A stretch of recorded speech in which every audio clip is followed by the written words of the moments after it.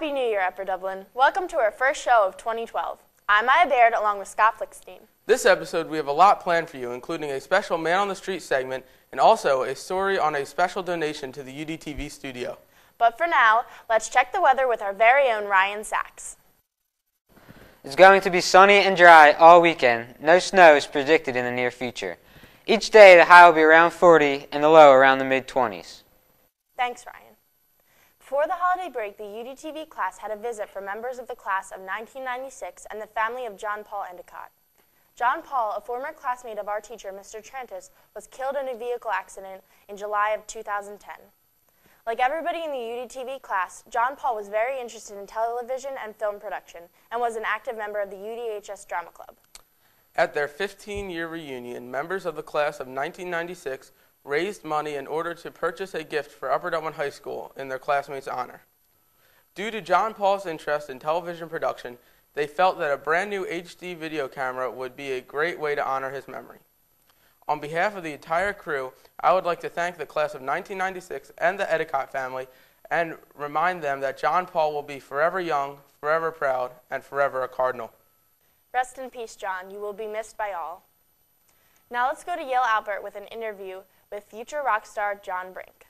Hi, I'm Yale Alpert, and with me is represented from Upper Dublin's own guitar group, Mr. Jonathan Brink. John, thank you for joining me this morning. It's nice to be here, Yale. So I hear something special is going on with the guitar group. What is it? Yeah, um, the Guitar Force One group and the Music Business Explorers are putting on an open mic talent night on February 10th in the cafeteria.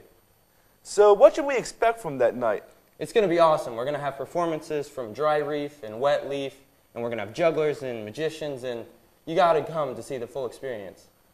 So can you remind us again when and where it is? It's going to be February 10th in the cafeteria at the high school from 7 to 9.30, and if you want to sign up, you got to go see Mr. Smith in room 251. All right, you guys got the information. Well, John, thank you again for joining me this morning. Thank you. Back to you in the studio, everybody. Thanks, Yale. That event looks like it could be an interesting evening. I think I will try to make it. I agree, Scott. Now let's go to Andy Palm for the educational segment. Hello, Upper Dublin. Unfortunately, Andy Palm is not here right now. Leave your name and number after the beep. I'm just kidding. You know what it is. It's the Andy Palm word of the day. The word is flabbergasted. This word means to be greatly surprised or astonished.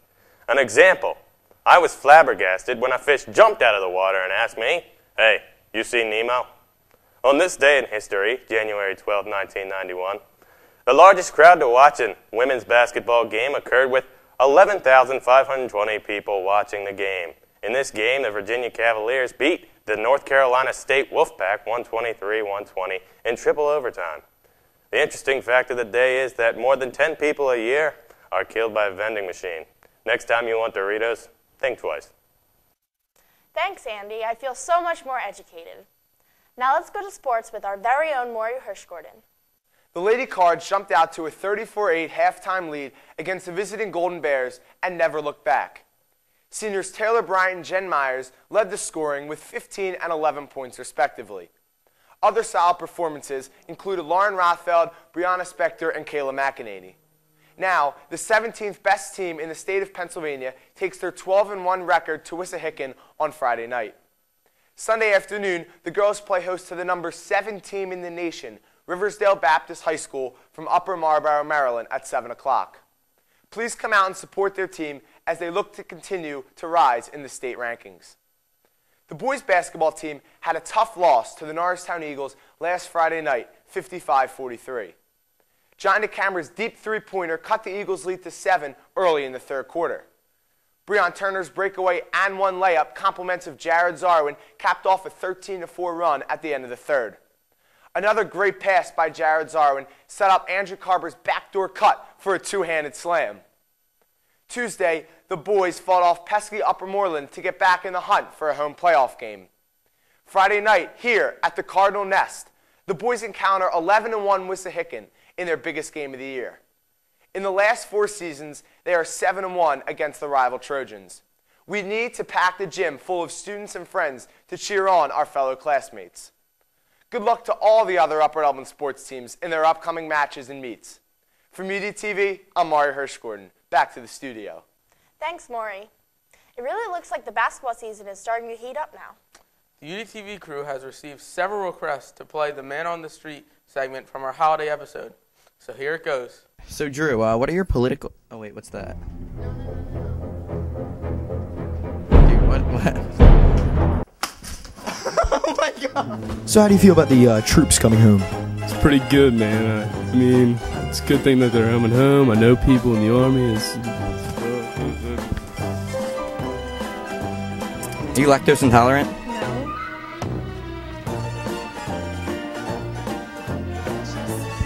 So what are your thoughts on the very dangerous texting and driving? Um, I think it should not be a thing. I don't. I don't want to.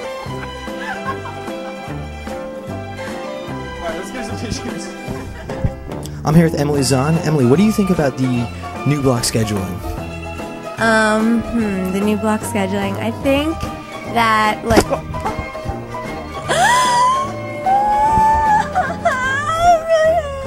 I'm here with George. George, how's your year going? This is absolutely the best year I've ever had. So, Mr. Mermelstein, are you excited for the Iowa caucus? Very much so. It's once every four years this happens. Yep, it's a It is.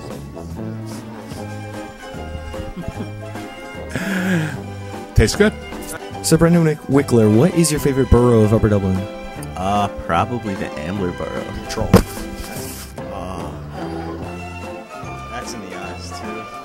Here with Simba. Simba, what's your favorite song? House Party by Meek Mills. You like Meek Mills? Yeah. All right, I'm here with Zach Wooden and Carly Bernstein. Z and Carl, what are you doing for holiday break? up? In the face. I'm here with Miranda. Hey, Miranda. Hello. How do you feel about? David, what are you doing for New Year's? I plan on celebrating with some friends of mine, and uh, it should be a fun time. That sounds fun. Dude, how good does this smell?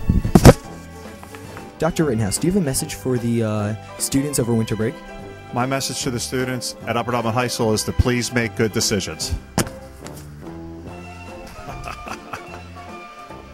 Happy holidays. Okay, so give me your thoughts on the new enhancement periods. Um, I'm actually really enjoying them. Alex, it's the holiday season. Why would you want to pie me in the face? You're right. I'm sorry. Let's just... Let's just share it. Happy holidays, Upper Dublin. Thanks, Jared and Alex. And a special thanks to all the good sports who got whacked with pies. Now let's go to Miranda for this episode, It's Poppin' segment. On this segment of It's Poppin', the UDTV crew thought we should take a look at this past year in review. We recently found a Google video that shows the most intriguing summary of 2011.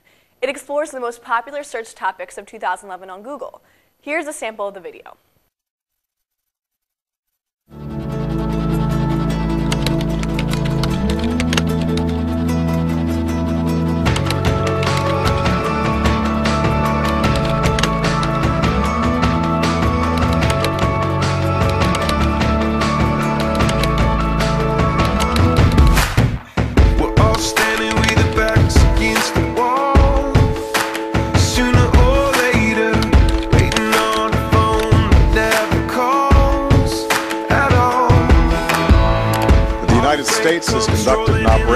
Killed Osama bin Laden, the leader of Al Qaeda. Let us not measure our sorrow by their worth, for then it will have no end.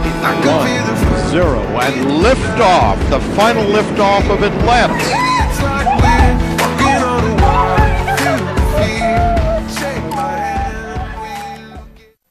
You can watch the whole video on YouTube. Just type in Zeitgeist Year in Review. Happy New Year! Thanks, Miranda, for that look back on 2011. I'm sure 2012 will be just as memorable. That is it for our sixth episode. Remember, guys, today is a D Day. Have a good day.